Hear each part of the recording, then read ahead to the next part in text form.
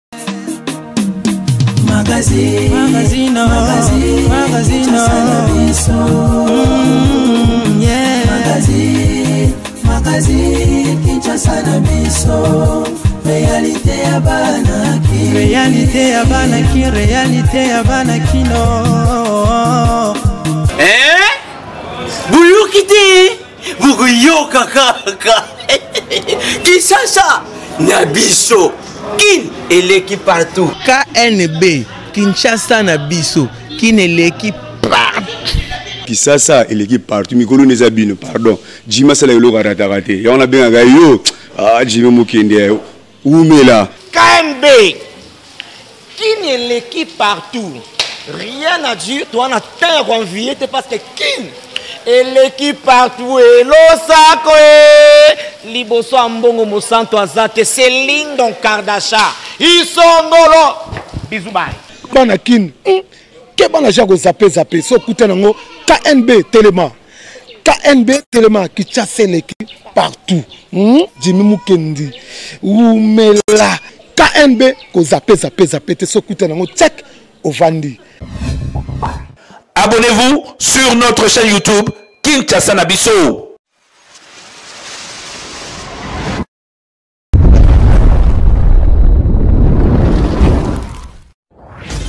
esengo mingi ya kokutana na bino lisusu mokolo ya lelo mercredi 11 novembre 2020 balandi nyonso ya magazine kinshasa na biso oyo ezolala te mpo na koinforme bino mpe kolakisa bino bavrai réalité ya kinshasa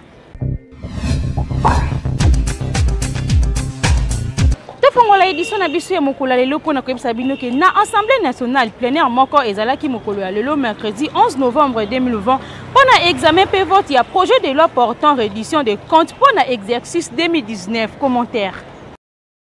Biro ya Assemblée nationale a convoqué plenaire moko mokolo ya lelo mercredi 11 novembre 2020 na 13h mpo na koexamine mpe kovote projet de loi portant reddition de compte mpo na exercice 2019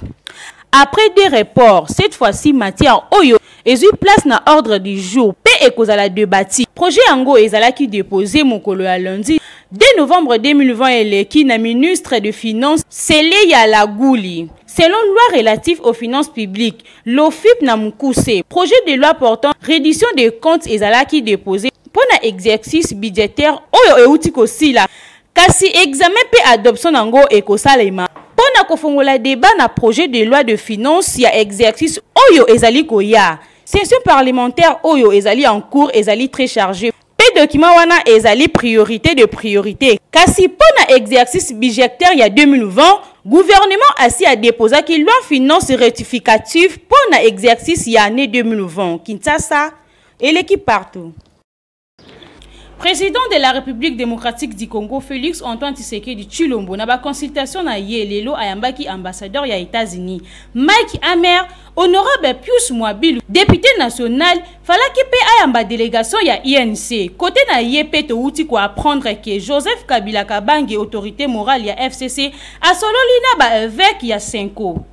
kaka na politique mpo na kotalisa bino ke secrétaire général ya udps augustin kabuya annonce masse de soutien moko mokolo ya samedi 14 novembre 2020 mpo na kosoutenir mokonzi ya mboka na baconsultation oyo azosalisa eloko nabengeli bino lelo naza koyebisa bino yango mpo naza kobanga mutu te je me vois dans l'obligation de le dire ntango tozalaki na opposition nabangaki bango te mais lelo oyo toza na signature je vois très mal ke soki nayebi likambo nabanga koloba yango buzoba elekaka te tokomi na moment oyo ya koyebisa na ba verite en face e naza koloba boye nayokaki bato mosusu bahomme politike mosusu baza koloba ke baza koprefere rencontre esalema entre mokonzi ya mboka na oyo azalaki liboso sans ba extremiste idps viva idps viva nga naza korepondre bato wana boye pendant tout le temps oyo babandaki kosala buzoba contre mokonzi ya mboka bino bozalaki wapi Vous etes des corrompus et des hypocrites. Il faut avoir le courage de dire la vérité. Là, il faut dire la vérité. Aucun chef d'État au monde ne peut jamais tolérer des bêtises oyo euti koleka mikolo nyonso oyo contre mokonzi ya mboka mwana mboka Félix Tshisekedi. Aucun chef d'État. Mais pour des intérêts matériels, Bato baza kosala hypocrisie esika bakoki koloba bosolo. Udps viva! Semaine oyo euti koleka, bato ya FCC, naza koloba na ironie te, na parabole te, naza kopointe bango mosapi. Udps viva! Udps viva! Bato ya FCC Basali ba tournees à travers certains pays africains pour preparer un coup contre le chef de l'Etat. Mais basali yango na ndenge ya lukuta. Biso toko se laisser faire te. Naza koloba yango et puis nakoyebisa bango mboko mpe bakendeki. Tango tosalaki accord na bato ya fcc ezalaki refuge ya koprotege bacriminele te baoyo babomaki floribert chebeya na fidel bazana ils doivent répondre de leurs actes nous ne pouvons jamais blanchir les gens au nom d'un accord politique quelconque bato wana baza na bafamille na bango makila na bango esopanaki Et les gens doivent répondre. Baoyo babomaki Arma Tungulu, ils doivent répondre de leurs actes. Buzoba et les kakaté. Baoyo babomaki Thérèse Kapangala na Rosi Mukendi, ils doivent répondre de leurs actes. Nous voulons voir comment est-ce que Ebele Bakotambola Namboko sans toutefois être inquiété. Justice il faut esala musala nango. IDPS viva. Tosalaki accord moko te mpo na bato lelo bakoma arrogant au moment où ils ont pillé ce pays pendant 18 ans bakombo na bango etangami na barapport ebele ils n'ont aucune leçon ya kopesa bango nde bazalaki moindre problème babengi edouard dona na telefone ba ye ko secourir bango militairement awa mais en notre grande surprise voyage oyo mokonzi ya mboka ke na Angola dernièrement et na, na Congo Brazza président ya Malabo azalaki kuna soki ye bayokanaka na president ex president angolais problème ya mokonzi ya mboka Félix Tshisekedi eza wapi ils se sont organisés pour aller tromper le président angolais Lorenzo que non tel que vous êtes là Félix Tshisekedi est en train de comploter contre vous mais soki bino boza na makasi boya ko affronter biso au lieu de se cacher derrière un autre président africain yango naza koloba boye naza koloba yango nazoloba yango devant presse buzoba wana totolere yango mingi tolimbisi bino mingi et vous allez vous rendre compte que Buzoba oyo bobandaki kosala tozalaki banyama te on est en train de vous observer et peuple congolais bozomona aza moumbu na bino te si vous pensez que demain vous allez retourner au pouvoir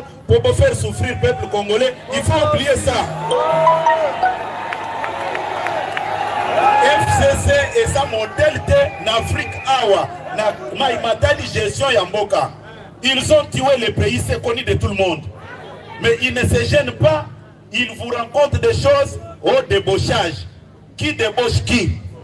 Est-ce qu'aujourd'hui ils peuvent nous presenter la liste de tous les membres du MLC au basé par na bango ceux qui président Jean-Pierre Bemba na tinda bango kuna? Leur mode de gestion c'est le débauchage. Bato nyonso ya IDPS oyo baza kuna biso nde totinda bango?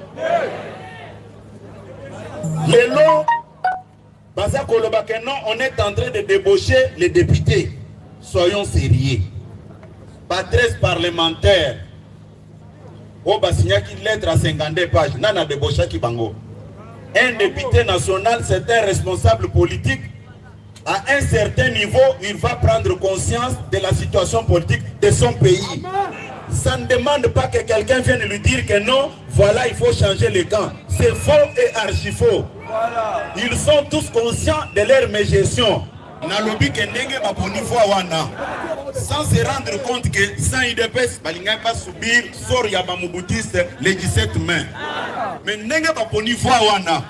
Nous sommes prêts puisque nous sommes habitués à ça. Ebele bakokende nzela ya exil bakoyeba ke biso nde bakokomplishe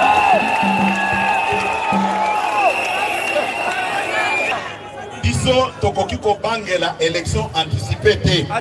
Au contraire, baza ko- conscient que Majorité oyo baza kopiolola wana eza ya kimoyibi, bamerita yango te, yango baza kolenga. Je parle très bien TFC, nazolobela motu mosusu te. Babongama, nous sommes prêts pour les affronter. On ne peut pas se permettre d'importuner un président de la République oyo bayebi parcours politique na ye neti moninga na bango.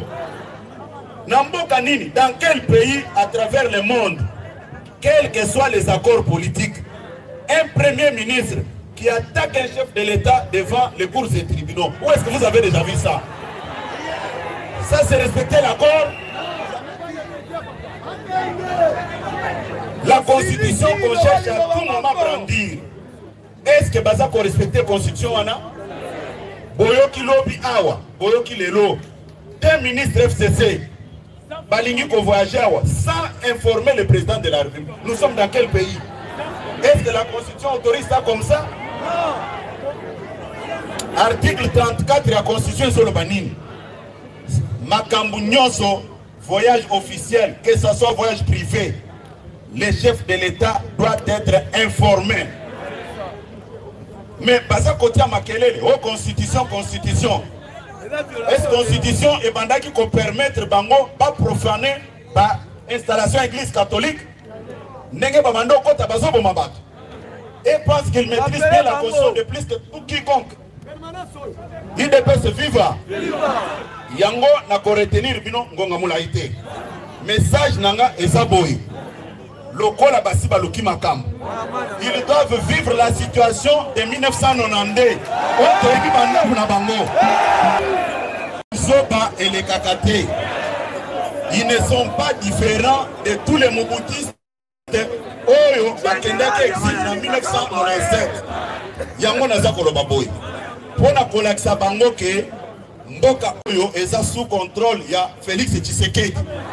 mpo na kolakisa ke peuple congolais nyonso dans son ensemble et derrière les consultations annoncées par le chef de l'état oyo aza kosala lelo Journee de la base oyo elingaki kosalama le 12 toyokana malamu eza renvoye à une date ultérieure le samedi marche de soutien sur toute l'étendue de la république comme ça ministre na bango finance oyo bayebisi ke ekobimisaka mbongo te mpo na Bato ba se soulever contre chef de l'État, on va régler son problème. bolanda réaction ya quelques parlementaires debout mpo na marche ya samedi reportage ya pegi ilunga ndeko na nga journaliste premièrement marche ya samedi eza mpo na intérêt ya peuple congolais à part mpo na intérêt ya peuple congolais tozo soutenir mokonzi ya mboka Na idee azwi ya malamu oyo ya consultation oyo esangisi bana nyonso ya mboka, nde yango na yango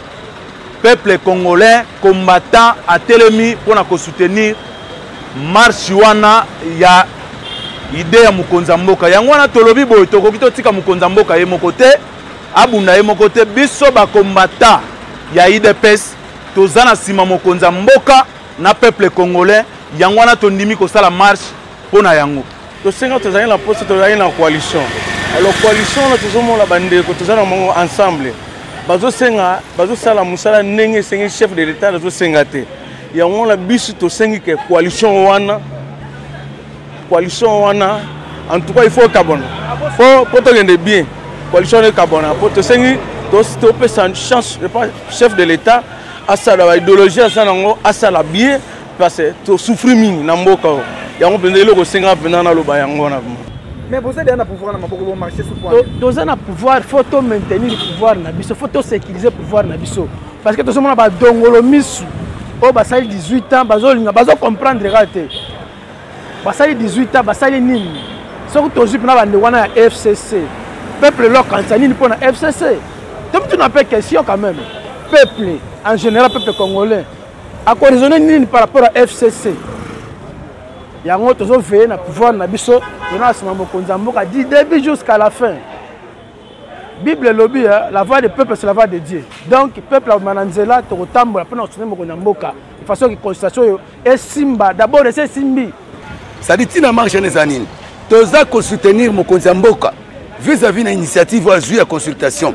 ya kozongisa mboka bomoko nde esali biso esengo alors toboyi mobulu eza na kati ya capitale tokaki na ngambo wana keni paraît-il bakoprepare mpe marche mpo na bakobebisaka nde bamesana me biso tobaki no toza parti au pouvoir me tokotika balabala te take biso to bakombata mpo kombata akufi nano te te na sili te soki ya malamu tobimi etake républicain tokumisi eloko esalami ya malamu soki epe mabe tobimi na balabala donc toza na komettre garde mpo na koyeba kobatela papa mokonzi mpe mpo na kosoutenir ye mpe kotombola lokumu lumbelumbe mwete mwete mwete mwete lumbe lumbe otie totie tokobanga te me tokobangisa tous les combattants idps tous les membres idps bima balabala to bakosimba na papa mokonzi ma nzoto na nzoto tolata ye oyo akomeka aza biloko na ye ah, par rapport à marche ya samedi marche eza pacifique eza marche moko tozosala mpo na intérêt ya peuple congolais eza marche moko pacifique donc tokobanda marche wana eza mpo na desordre te en plus mpe tozosala marche na toyebi ka bainfiltre bakoya mpo na kobebisa marche mais tokozala mayele na bango marche wana eza marche moko pacifique tokobanda yango na calme ma mpe tokosukisa na calme mpo na intérêt ya peuple congolais bon etake combattant idps nakobenga kaka tous les peuples congolais tous les combattants idps baya tosoutenir mokonzi ya mboka mpo na mboka na biso mpo na mabele na biso mabele oyo eza ya bakoko na biso moto batikela biso yango banguna bakoti trop bainfiltre bakoti trop mpo na mboka na biso bazoyiba baminere na biso bazoyiba bambongo na biso bazokenda yango bapays na bango mpo bakende kotonga bakende kovivre bien biso tosouffrir mwana mboka combattant nani ya idps congolais nyonso kinois nyonso totelema mpo na kosoutenir mwana mboka félix antoine tshisekedi aza président na biso alingi biso makasi yango tosengi ke samedi oyo eza marche moko bo ya calme desordre ekozala te tokozala toujours na kimia tobandaka na ntango ti bisika tosukela tosukeli Population a réagir mpo na refus oyo ba service ya migration ya aéroport ya Ndjili na ndenge baboyaki deux ministres ya FCC ba voyager reportage ya Peggy Elunga. Ezalaki na pokwa ya mardi 10 novembre 2020 alors que bazalaki kobongama mpo na koeffectue voyage moko na baprovince séparée ya pays ministre ya travail emploi et prévoyance sociale madame nene nkulu na collègue na ye ya mine willi kitobo Bango mibale ya plateforme politique Front commun pour le Congo FCC baboyaki bakite ville ya Kinshasa na ba service ya migration ya aéroport international de Ndjili. Kaka ba collaborateurs na bango nde bazwaki autorisation ya koeffectuer ba voyage wana. Ba sources très bien informées na likambo yango balobi ke ordre ya kointerdire bango babima euti na haute hiérarchie. Magazine KNB tokitaki na terrain mpo na kotuna population Mpo na nini ba empechaki bango ba voyager? Ezali likambo ya bras de fer to kaka mpo bango mpe bazali kotelemela ba consultation ya president de la Republique? Premièrement, faut toyeba nous avons l'organisation oyo ezali administration. L'administration, le gouvernement na présidence baa na ba préalable oyo basigna. primature oyo ezali kokamba gouvernement oyo ali motu ya te ezali premier ministre c'est lui qui chapeaute tous les ministres basigna bapréalable na présidence chaque ordre de mission ebimaka mpo ministre ya, ya yano asala aeffectue voyage na ye fo ezala avant 7 jours nde akozwa ndingisa ya kovoyage seke eye après soit na 48 heures wana carrément selon bapréalable eza respecte te wana bakosala voyage bakoeffectue voyage na bango te eza légal c'est signé une semaine avant nde présidence batali eza légal nde bakozwa ndingisa ya kovoyage bazali bayi mboka bakovoyage mpo na mosala bakointercale bango basala mpo na nini tokoki koluka toujours l'intégrité nationale ya mboka na biso mpo mboka nazo emata bakoboya mpo na nini ezalaki legali te yango moni baboyaki bavoyage eza normal parce que baministre bavoyagaka na bango chaque jour ça ne dit pas que soki baboyi bavoyage pour rien eza na cause oyo président de la république ou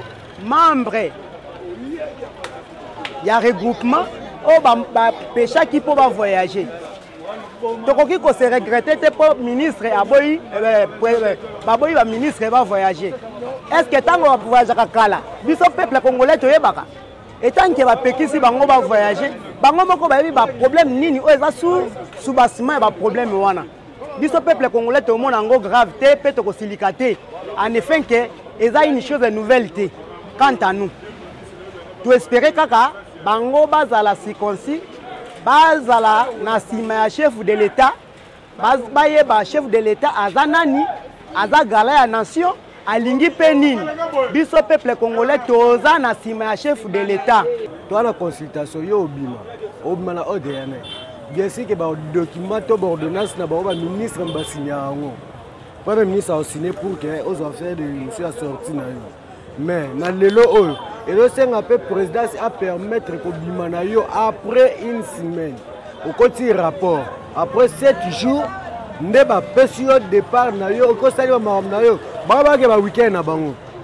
ake atiki mwasi ne na bana ne na poto asali vie na ye asali basentiment ne baodetourne mbongo ya mboka peuple aose retrouve na rien preuve ane lelo ofilme nga a ah, ta place ofilme nga ta nde eza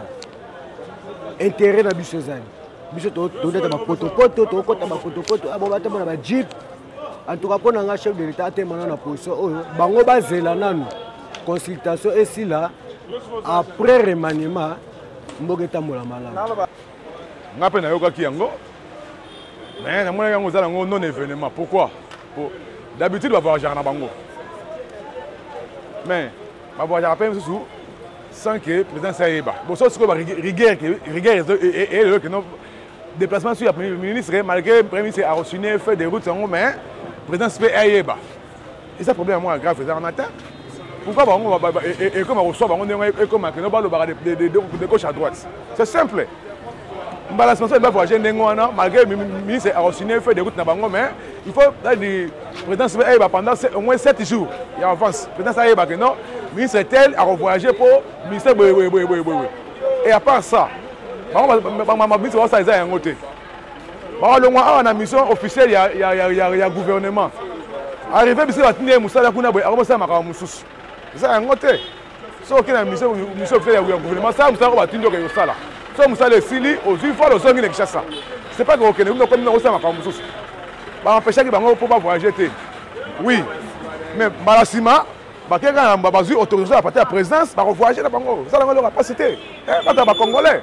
bakomisa yango eteke événement te soki soki ndenge nini oyo lokola babimisa fcc nde baboyi bavoyage non eza kopona kete te mpo fcc meme azalaki mpe ya cash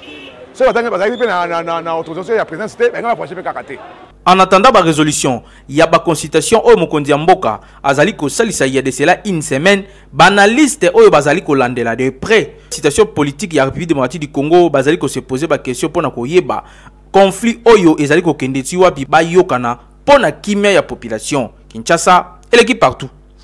DG ya RVA aza placé sous mandat d'arrêt provisoire depuis lobi mardi 10 novembre 2020 na pokwa pe aza déjà kuna na prison centrale ya Makala. Reportage ya Benedict Kongolo.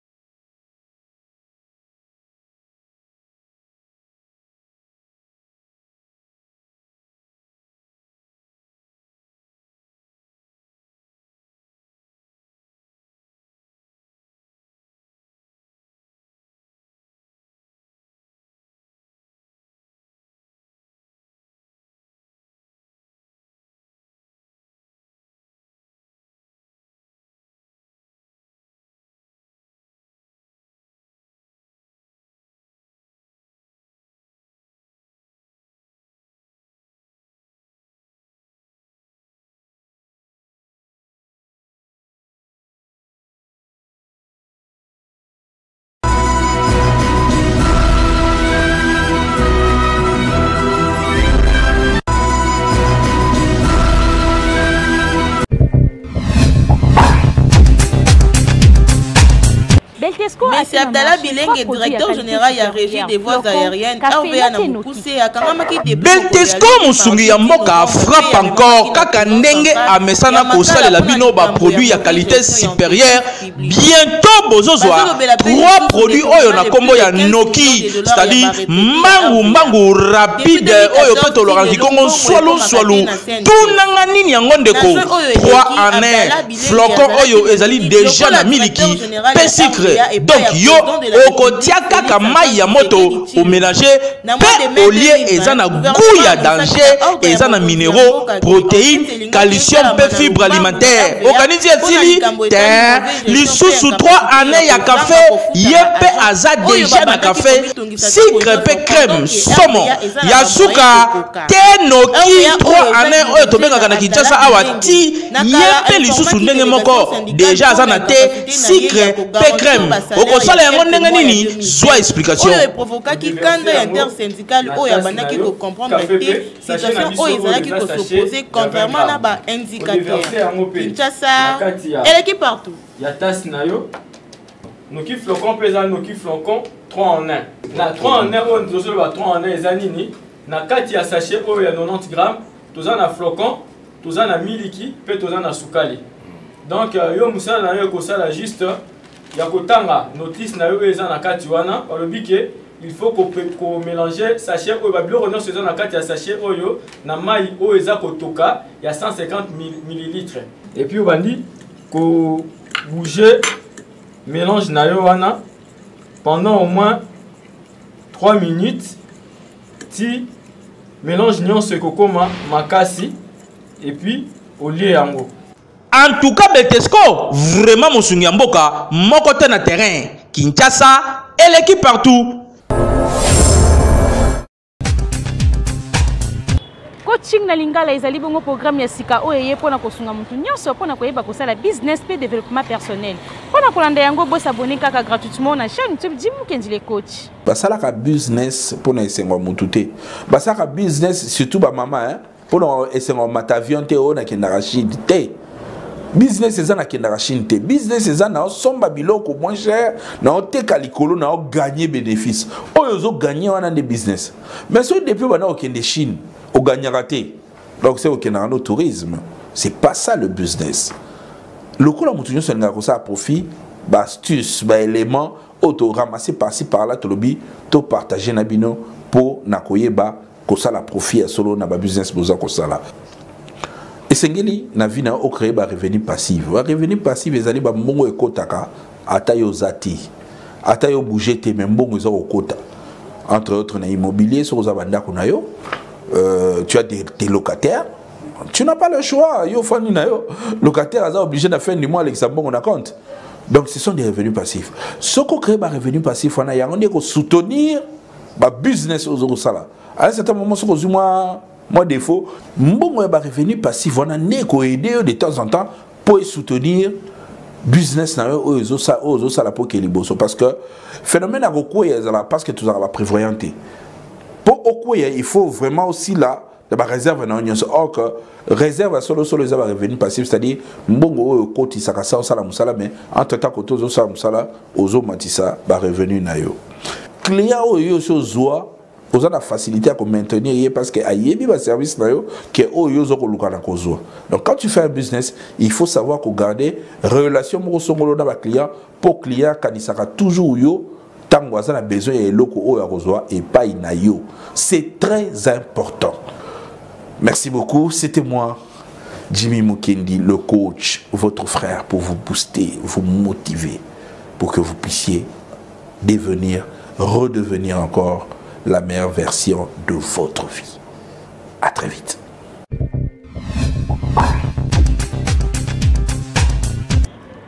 tokende na sport mpo na koyebisa bino ke evêque pascal mukuna ademissionne na poste na ye ya président ya comité de direction ya fc renaissance mpe adeposaki lettre ya démission mokolo ya lundi 9 novembre 2020 Évêque Pascal Mukuna a démissionné na poste na ye ya président ya comité de direction ya FC Renaissance du Congo suite ya ba occupation ya makasi oyo aza ko occuper na ba secteur mususu selon communiqué oyo apesaki na presse mokolo ya lundi 9 novembre.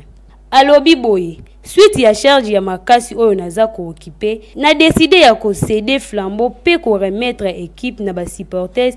mpo na organisation ya Assemblee generale elective na ba jours à venir. Merci mpo na confiance oyo bopesaki na ngai durant 6 années eleki. Souhait na ngai ezali ya komona equipe eya monene mpe ekende mosika.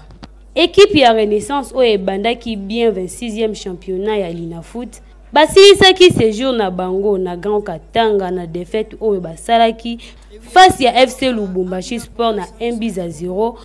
après avoir koganye face na FC Blessure ya Lualaba 2 bis à 0. bazwi na deplacement na bango 1 point na match oyo babetaki na fc saint eloi lupopo na miniti oyo na classement baza na 12 point après 9 match joue FC Renaissance bakobeta dimanche le 29 11 ya mois 2020 na AS Vita Club. Match wana nde eza kodetermine position na bango na classement. Kinshasa eleki partout. Abonnez-vous sur notre chaîne YouTube Kinshasa na biso.